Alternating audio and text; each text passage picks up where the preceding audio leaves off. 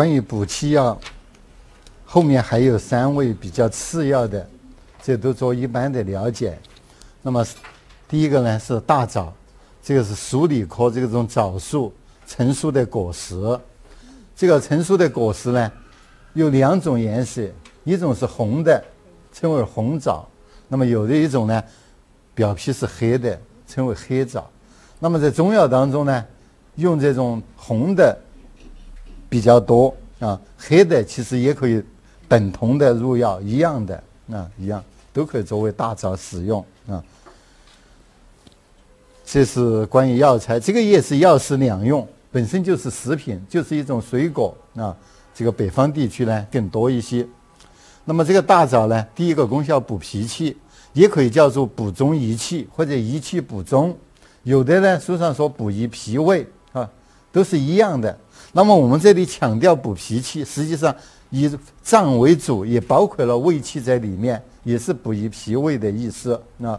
那么因为它甜味很浓，所以有的强调补中啊。因为这个按照五味所入呢，甘味那么很主要入脾的，入中焦的，所以这个补中益气，益气补中啊，补脾胃之气都是一样的啊。那么它主要是用于这个脾胃气虚。那么大枣的补脾气的作用也是比较缓和的，它也是一个兼有营养成分比较丰富的一个补脾的药物，所以它比较适合于这个脾气虚啊，而且兼有营养不良啊，往往是作为一个辅助的药物啊来使用，所以这方面没有什么特殊的啊，它在这个很多补气健脾的方当中呢，有的甚至把它作为药引子。啊，就是次要的意思啊，来使用。另外，第二个功效安神，在一般呢又叫养血安神，其实也可以把养血加进去。大枣呢有一定的补血的作用，它也可以用于血虚症，啊，也可以用于血虚症。它又是一个安神药，能够主治心神不宁。那么从这个张仲景开始就用它的养血安神功效，而且使用比较早。而且用于一个特殊的病症，在《金匮要略》里面叫做这个脏操啊，脏操。那么什么叫脏操呢？这个脏指的就是心，心脏操扰不安啊。那么就是因为心思所养，心主神志的功能不能正常的发挥，而出现了一些心烦不宁啊，心烦不宁，或者这个。呃，其他的一些情志异常的，比如说喜欢悲伤欲哭啊，喜悲啊，喜闹喜哭啊，这样的一些症状。那么现在呢，好像就是比如说有的属于疫病的范畴啊，或者属于就是一些其他的一些情志情志的病当中都会出现啊。但是在过去呢，称为妇人脏燥。这个不是妇女专有的一个病啊，只不过多多一些。这个可能与这个过去的这个封建社会，这个社会地位低一点，那么经常处于一种不平等的地位，经常压抑啊，那么经常可能容易出现这个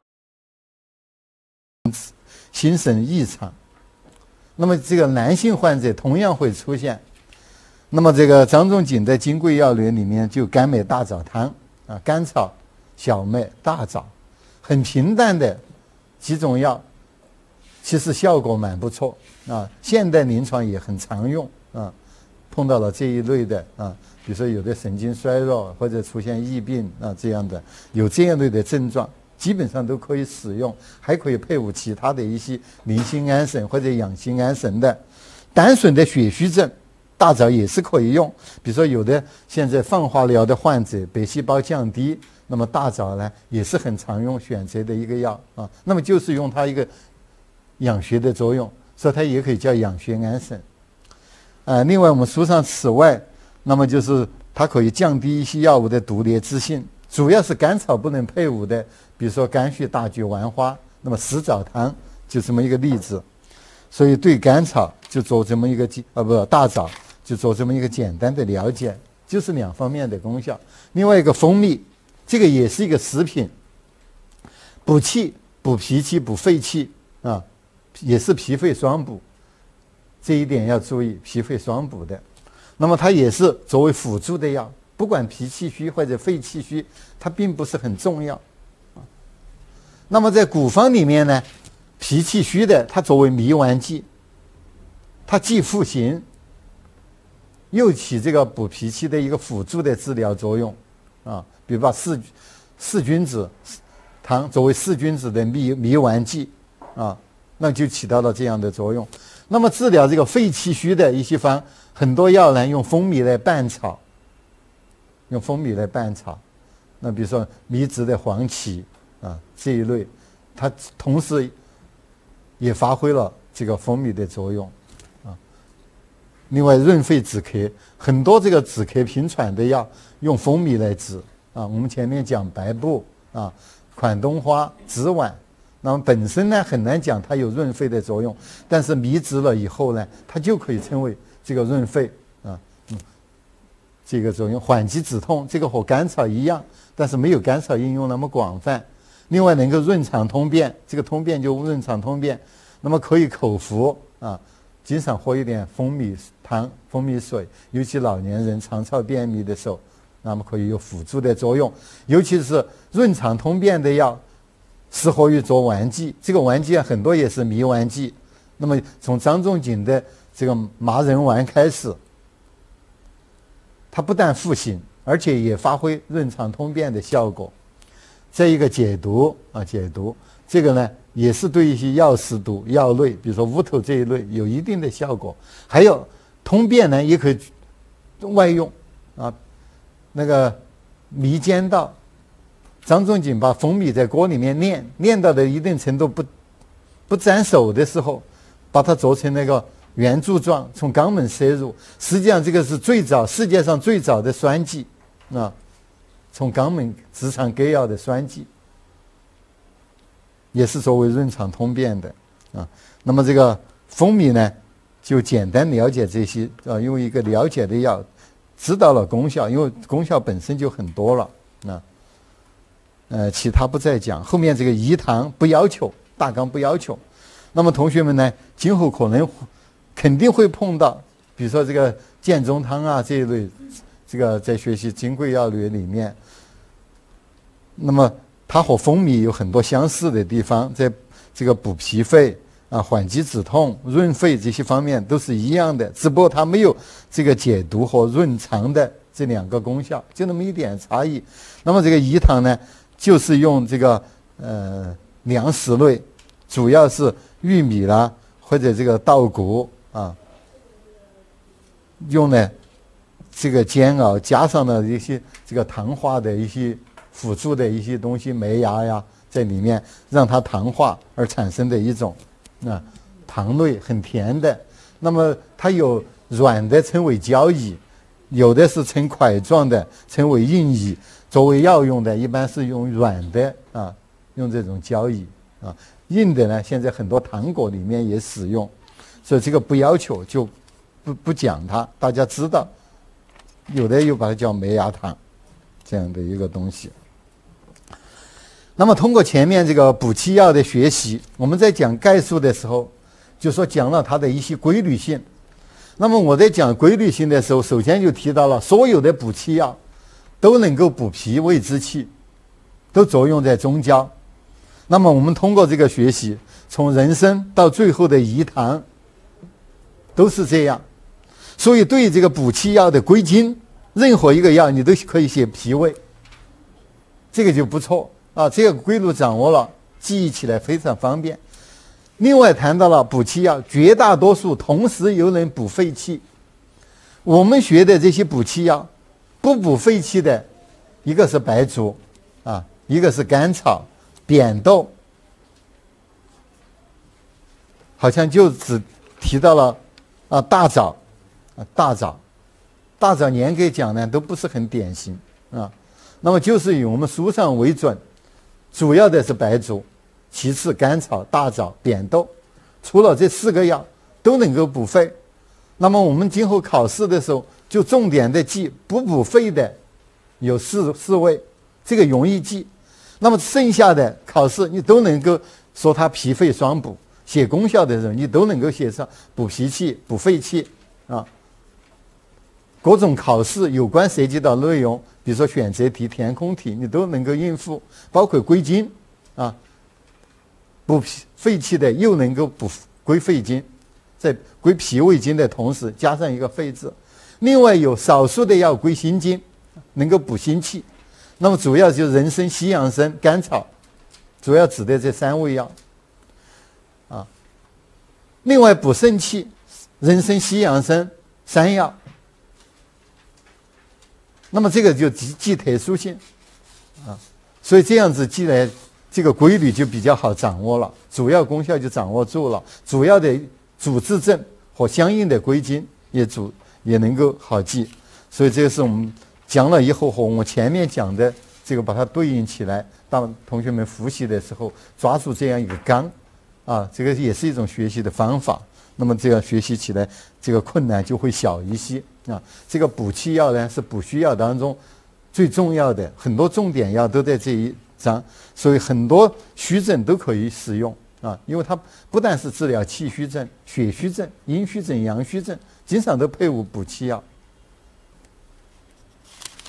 所以这是这一章当中的重点。呃，下面介绍第二节补阳药。补阳药，补阳药从理论上来讲。是治疗阳虚症的药物，以补阳为主要功效。这是从理论上来讲应该这样的定义。但是根据我们这一节收载的具体的药物，这样子定义又不太准确。那么我们这一节收载的药物基本上都是补肾阳的，就是以补肾阳为主要功效，主要治疗肾阳虚症的药物，称为补阳药。那么，这个呢，是根据实际的情况这样子下定义，它和理论上这个定义呢，就有广泛和局限的这种差异性。为什么会出现这种差异性呢？因为我们在学中医诊断学的时候，有阳虚的脏腑，一个是肾，肾阳虚症；另外一个是心，心阳虚症；这个脾，脾阳虚症。那么肺和肝。没有阳虚症，主要涉及三脏。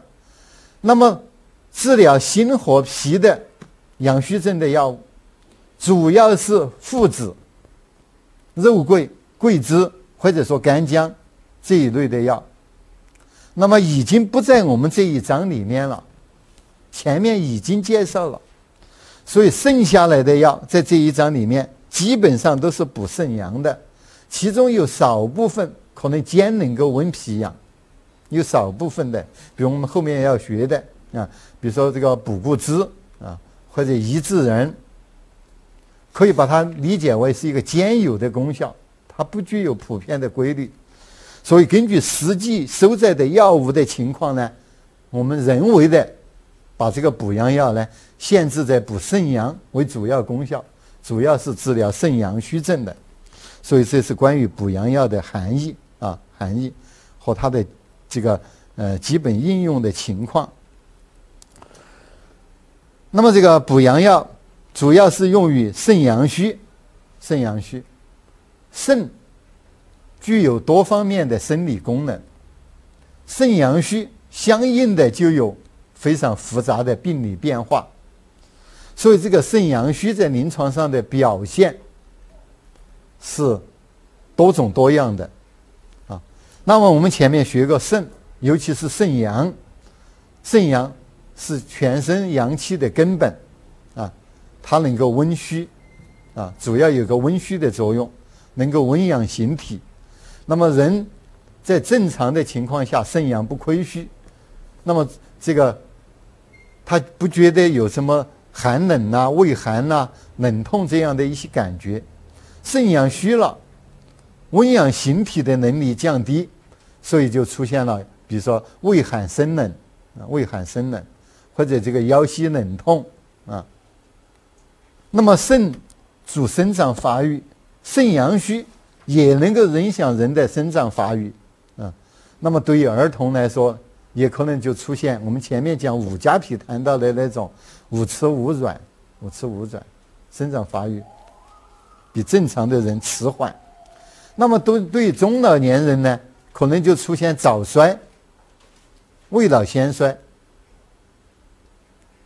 出现了，比如说这个呃头昏眼花、头昏耳鸣，或者腰膝酸软，而且兼有明显的寒象，啊，因为阳虚是一个虚寒症，它是以寒热来两分的。那么肾是主生殖的，肾阳虚，那么这个生殖功能就减退。首先就表表现在性功能的减退啊，那么这个男性呢，可能就出现阳痿啊，阳痿啊，这个女性呢，可能出现这个不润啊，宫冷宫寒不润，男性呢还有不育症啊，不育症，不能正常的主生殖，肾主骨，肾阳虚呢，筋骨微软，尤其是筋骨冷痛冷痛啊。肾主水，十二便。肾阳虚，不能够有效的主水，两种情况，一种呢它是开而不合，那么就是尿频遗尿，夜尿频多；要么合而不干，这个小便量少，出现了水肿，阳虚的水肿，啊，大便呢可能出现溏泻，或者阳虚出现冷秘啊，便秘。大便失调，大便失常，啊，可两种情况下都可以啊。那么肾主纳气，肾阳虚也不能有效的纳气归根，也可以出现久咳虚喘，啊。这个肾阳可以温养脾阳，肾阳虚可能导致了脾脾肾两虚，出现这个久泻不止，尤其是五更泻啊这样的一些症状。所以这个肾阳虚。在临床上的这个表现是非常多的啊，非常多。那么一般的肾阳虚呢，对这样一些临床表现呢，都是可以用的。所以在临床上，这个补肾阳的药，对肾阳虚症，不管它的表现怎么样，使用实际上都是非常广泛的。反过来讲呢，又是我们这个中药分化不够的地方。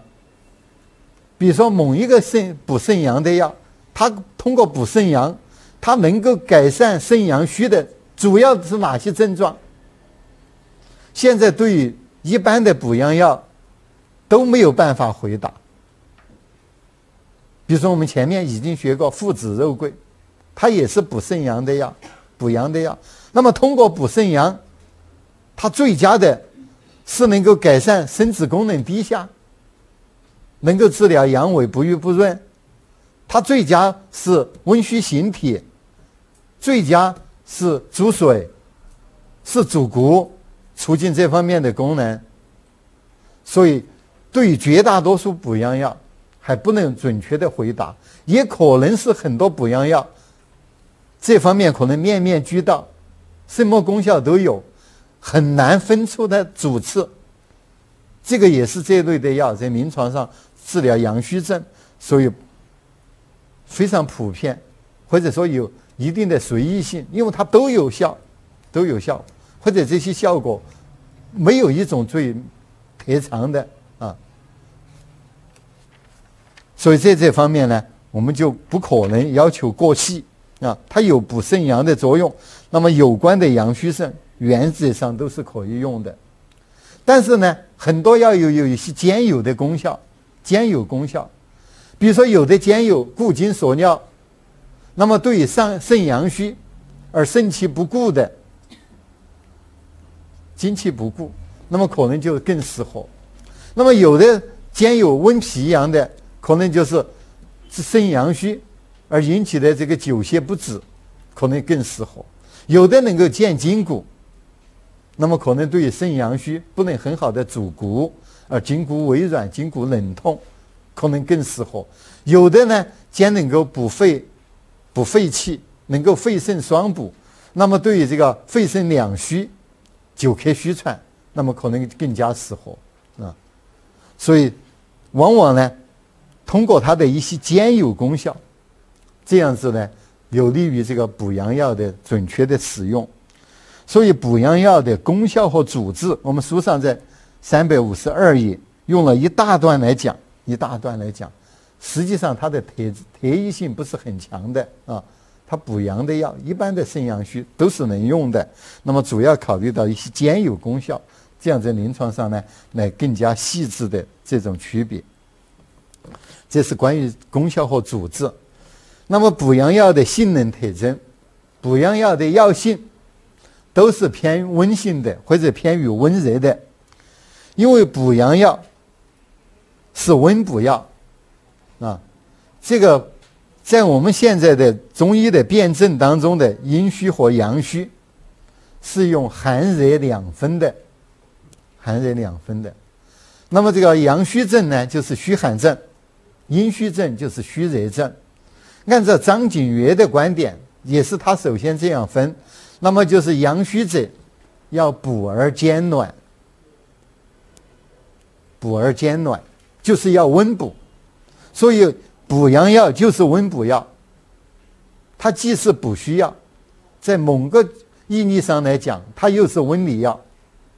阳虚生内寒，它既能够补虚，又能温里散寒，所以是属于温补药。它肯定是偏温的，这是药性。药味当然都是甘味药，甘能补，但是。有的补阳药又能祛风湿，它有苦燥的性质，所以还有苦味儿。但实际上，有的动物药往往是联系它的真实滋味儿，强调它的咸味儿，啊，强调的咸味儿，那是与真实滋味有关，啊。那么在《内经》里面呢，有辛能润，有的补肾的药还。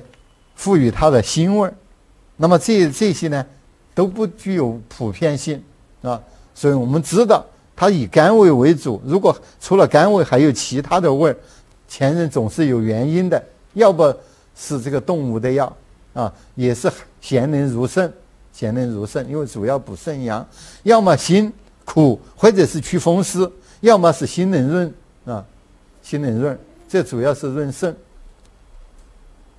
所以这个药味，嗯，在相同有规律的基础上呢，又不是很有规律。这个归经，当然都是归肾经，主要是补肾阳。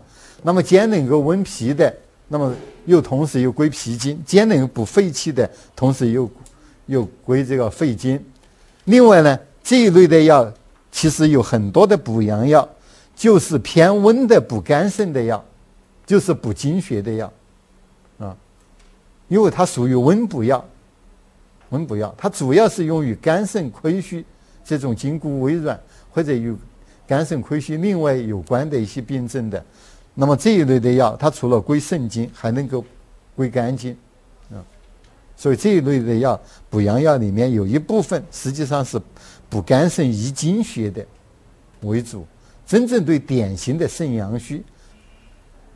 它没针对性，并不是很强的。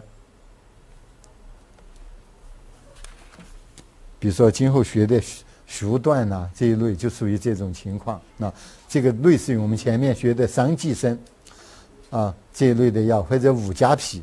如果说要把桑寄生、五加皮这一类的药放在补虚药，那也在放在补阳药，但是它对肾阳虚本身针对性不是很强，实际上是温补肝肾的。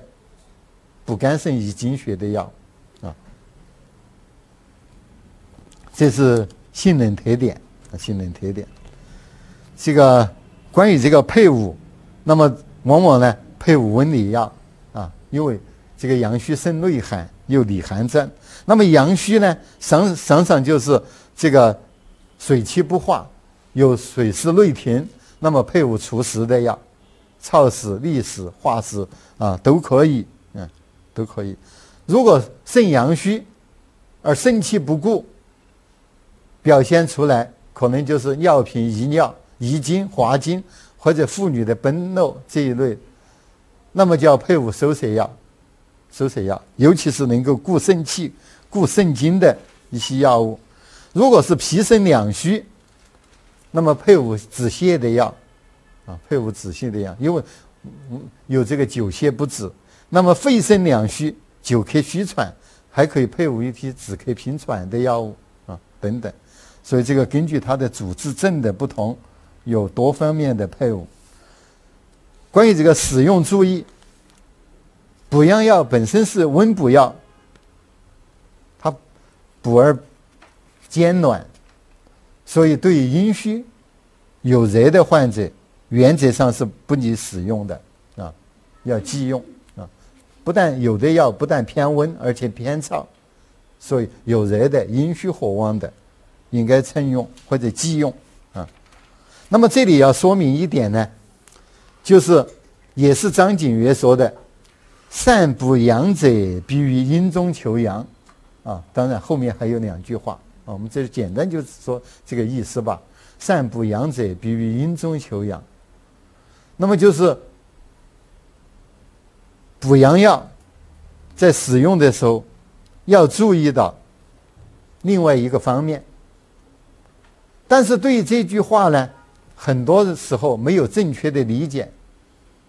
它并不是说在补阳的时候要加一点补阴的药，因为我们现在的补阳药和补阴药是以寒热两分的。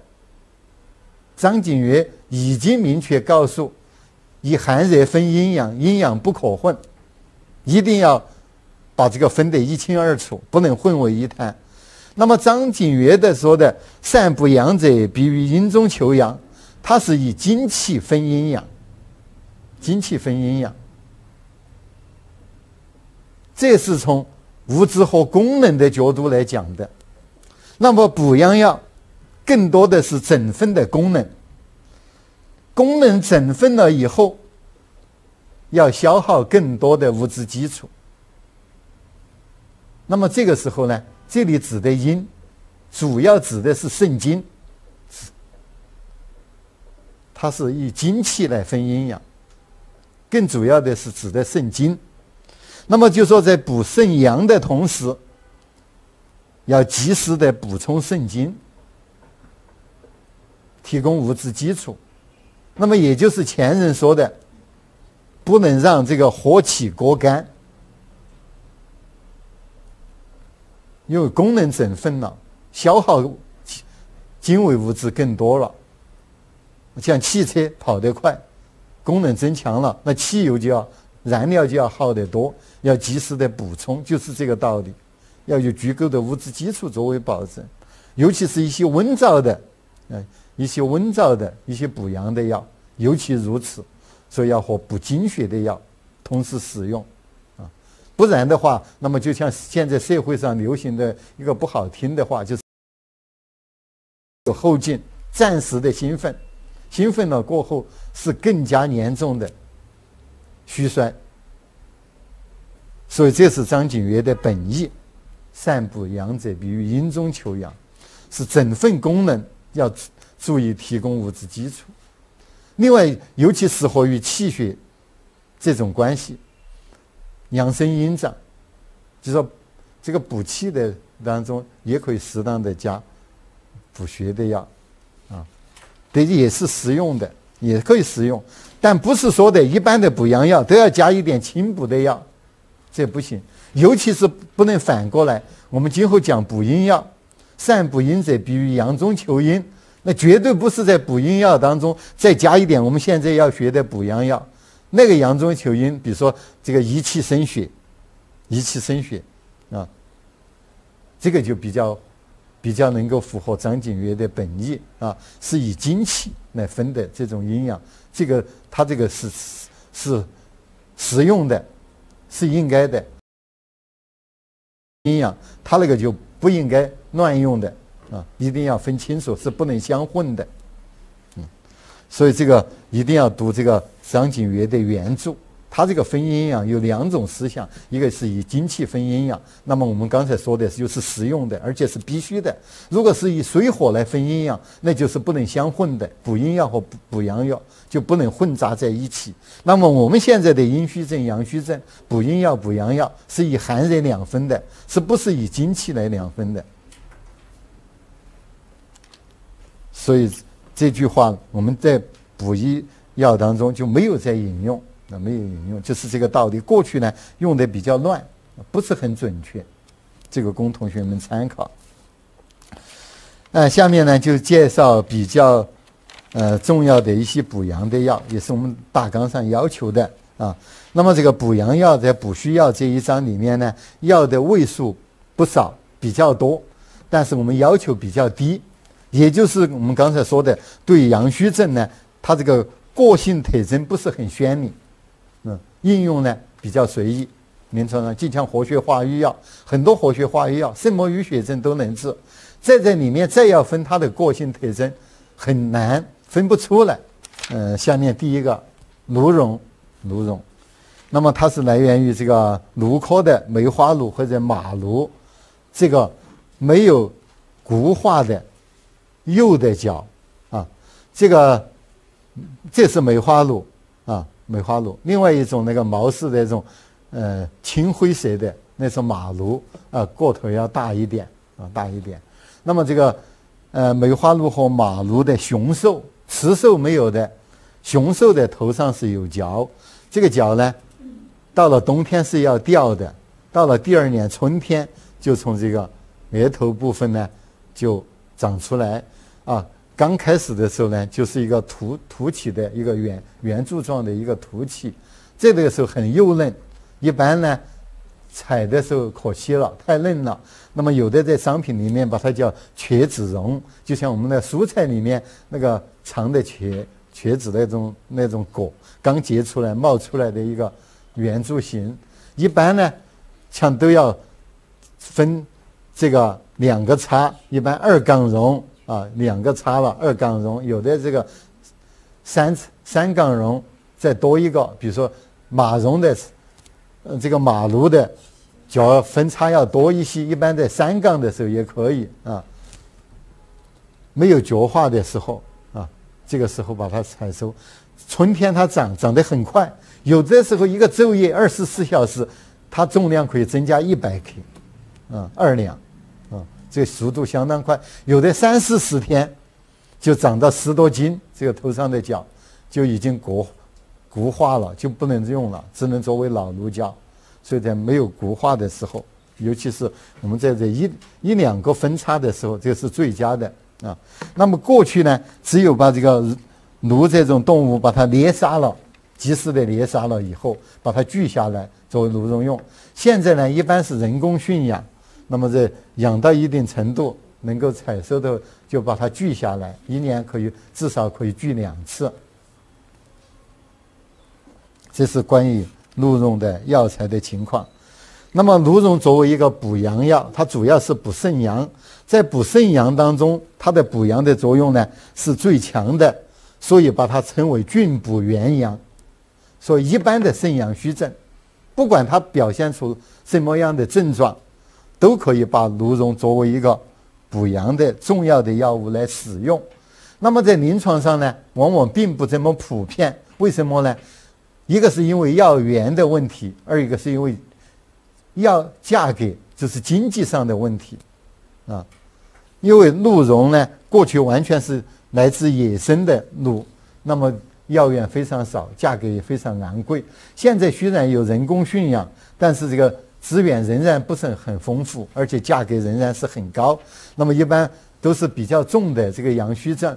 那么这样子才用它来菌补元阳，比较轻微的可以用，这是理论上的，啊，实际上不可能都用啊，就是刚才讲的原因，价格和和这个药源的问题。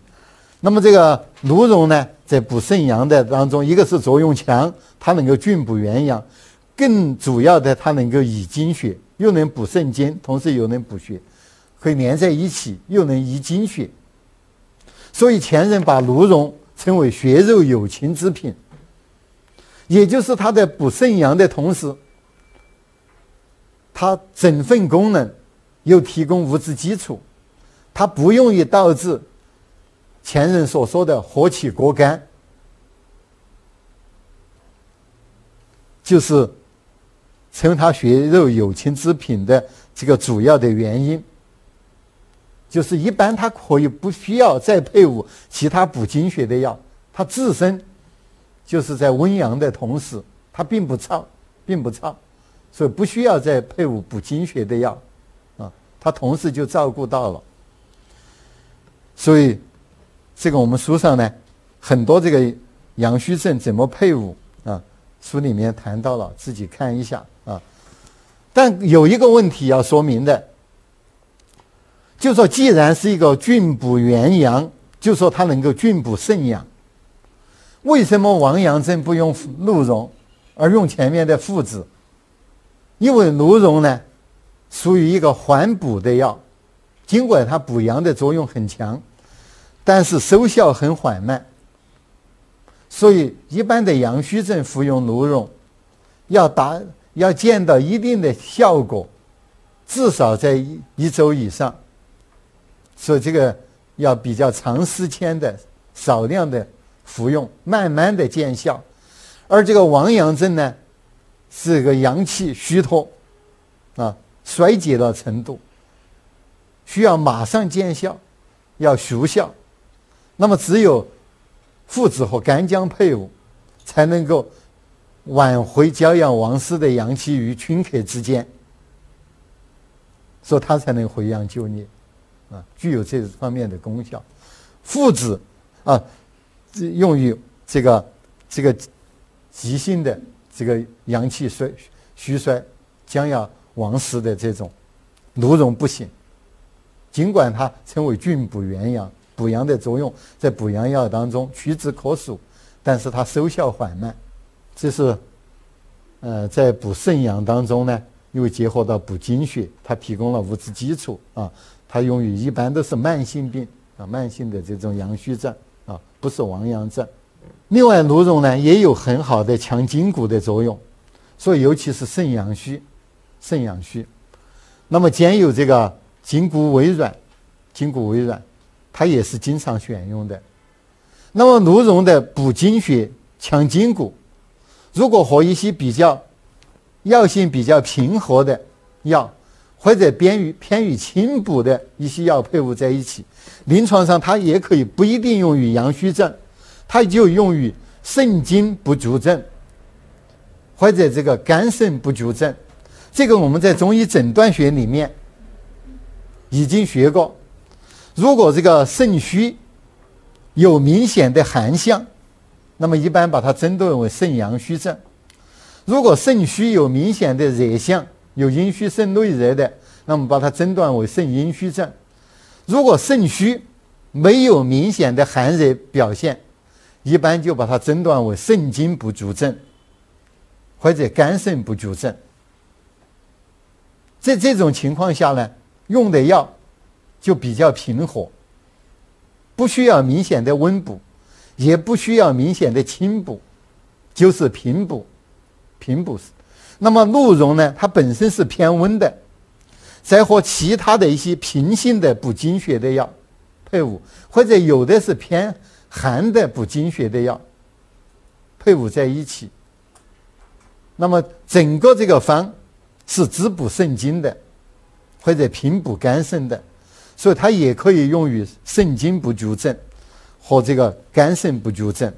这个肾精不足症和肝肾不足症，主要就是表现在就是早衰、未老先衰，那么出现头昏耳鸣、腰膝酸软。啊，这样为主的一些症候啊，比如说这个鹿茸和这个什么枸杞子啊、啊女贞子啊，或者菟丝子，甚至于熟地啊，这样的一些药配伍在一起，完全可以使用。一般的精血亏虚啊，不是典型的阳虚症，所以它这个补精血、强筋骨也可以单独的使用。那么我们书上有个顾冲人。实际上，这个也是鹿茸补肾阳、益精血在妇科病当中的一种应用。它是从另外一个辩证体系，从七经八脉的辩证体系来总结出来一个功效。因为这个七经八脉，不管督脉、冲脉、任脉，都起于胞中，起于胞中。那么，所以鹿茸在有的书上说它这个补督脉。那么督脉是这个阳脉的这个总司，实际上这个也是和补肾阳联系在一起的，它是从七经八脉的角度来讲，讲它补督脉。那么这里呢，从七经八脉的角度，很多妇科病啊，因为这个冲为血海，人主胞胎，那么妇科病如出现了这个崩漏或者胎动不安、月经失调啊、不润这样的一些病症，从这个角度来呢。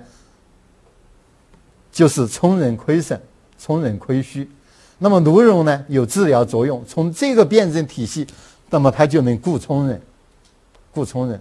实际上，按照脏腑辩证，它也是肾肾气虚、肾阳虚或者肾精亏损啊。实际上是不从不同的角度啊，这样总结出来的功效，在妇科病当中，更多的是按照七经八脉辩证啊。所以我们书上呢也把它。放在了用于肾阳虚的下面，并没有把它分出来，只是在功效有这种不同的提法。另外就是脱毒生肌，那么也是肾阳虚、精血亏损，那么疮疡溃了以后，要么不容易溃，溃了以后呢，脓液不容易干净，脓液干净了呢，疮疡不容易收敛。那么芦茸呢，也是一个很好的药。那么我们刚才讲黄芪的时候提到了，和黄芪是完全相似的，只不过表现在一般的气虚的情况呢，就用黄芪；或者一般的气血虚，那么就用黄芪加当归这一类呢，这个脱毒敛疮生肌。如果是表现出了明显的阳虚、虚寒性、寒象比较重，那么单纯的用这个黄芪、当归可能还比较这个温阳散寒的作用还不够，往往要用芦茸。啊，大同小异的，就是这个症的轻重、寒象的轻重不同而已啊，它都可以使用。那芦茸呢，可以作为一个补血的药，现在用于血虚症啊，现在治疗贫血啊，用芦茸也是有效的，尤其是贫血表现出了阳虚的一些现象，所以我们现在把这个补血和补精把它分开了，一分为二。过去的中药学呢，就是以精血，这个分开的道理呢，一个是肾精不足症，可以用芦茸，那么里面基本上把它作为一个补精的药；单纯的血虚，尤其是现在治疗贫血，鹿茸可以单用，那么把它作为补血的药，所以它的补精和补血可以分开的啊，分，所以中间加了一个逗号来隔开。那么鹿茸要注意呢，就是服用的方法。一个是原则上呢，不适合于汤剂。啊，很多成分在汤煎汤的时候，它不能用出，不能利用。有的人芦茸泡酒，实际上芦茸做酒剂也不是很好。芦茸里面有一部分是纯溶的，有一部分是水溶的，都不能全部全面的利用。最好的方法，芦茸就是做散剂，不管它纯溶的成分、水溶的部分啊。它都能够全面的利用了，所以最佳的是碾细细粉啊，做丸散这样子来使用，而且在服用的时候呢，还要注意从小剂量开始，因为在临床上呢，有很多是表现为阳虚的患者，他应该使用芦茸，从理论上来讲，用了是应该有效的，还应该很有效，但是突然间用量大了。出现虚补受补，马上产生这个这个助火、助火或者这个风阳上动的一些情况。这个过去我就见到过一个患者，是一个呃中年人，那么典型的阳虚症，应该说是可以服用鹿茸的，但是呢，他腰比较心切了一点。医生叫他少量，他自己一次就服用到了这个起码三克左右，一个礼拜都不到，这个患者呢，整个这个面部充血，头发脱落，还流鼻血，最后还用滋阴降火的药治疗了很长时间，回过头来再来慢慢的服用芦茸啊，那那个时候小剂量呢他就接受了，本身是个阳虚的体质，时候吃。但是，一开始用量就太大了，骤然的补，所以我们前面这个补虚药的使用注意当中要注意缓急，啊缓急。如果这个急性的一些虚症，那么太缓了，比如说亡阳症，如果我们慢慢来服用鹿茸，那就缓不济急。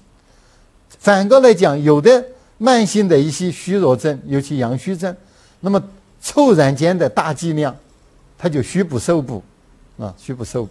所以鹿茸在服用的时候，尤其要从小剂量开始，比如说我们开始，啊，每一次用零点三、零点三克，服用一周左右，这个患者完全接受，我们再加到每次零点五左右，那么最后慢慢的过一段时间，再每一次用一克左右啊。这个掌握这个循序渐进，对使用鹿茸呢，在临床上呢，能够不出其他的这个阳风阳生动啊，或者虚不受补的这种情况，这个是需要注意的一点。那么我们在这个三百五十四页的里面呢，谈了一个副药，一个鹿角胶和鹿角霜。那么这个野外我们收集到的老的鹿角，秋天以后掉落的。把它加水来熬，把里面的一些有效成分提取出来，加再加上其他的一些药物，最后成的胶叫鹿角胶，简称的叫鹿胶。那么这个鹿角胶呢，主要在于补精血，补精血的作用比鹿茸，嗯，完全不相上下啊。其他的方面的作用呢，可能要次一些，比如说，尤其是在壮阳方面。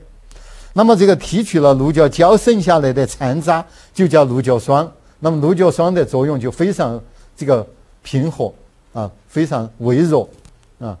主要呢，它兼有一点收敛的性质，所以这冲人不顾出现了崩漏啊，这个疮疡不练，一般可以用这个比较这个作用比较微弱的这个鹿角霜来治疗。如果要来补阳或者补精血，那么它的作用就不够，力度就不够，所以。适当的看一下这鹿角胶和鹿角霜的问题，这个我们不要求，但是知道有这样两种药材。如果鹿角胶呢，如果还要阳化腐，我们前面特殊的服服法，或者炒成珠，那成做做散剂。我们在今后讲阿胶的时候再来讲这个阳化和炒珠啊，因为都是焦虑的药材。那么这节课呢就讲到这个地方。